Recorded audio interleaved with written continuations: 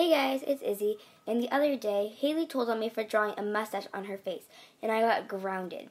Anyways, I want revenge. Okay guys, so now I'm in Haley's room, and as you guys probably know, Haley loves to write songs, so this prank is perfect. Right now, Haley is at vocal lessons, so I can take my time with this prank.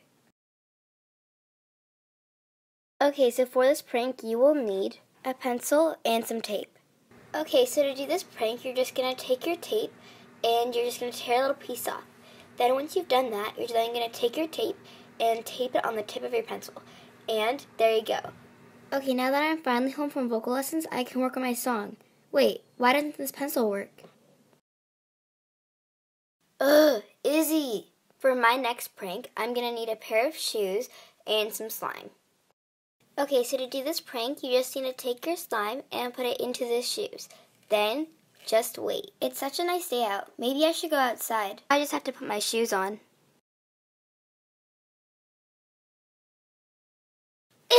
Oh my gosh! What's in my shoes? Oh yeah, I forgot to mention, your shoes might be a little bit slimy. Ugh, Haley. Happy April Fool's Day!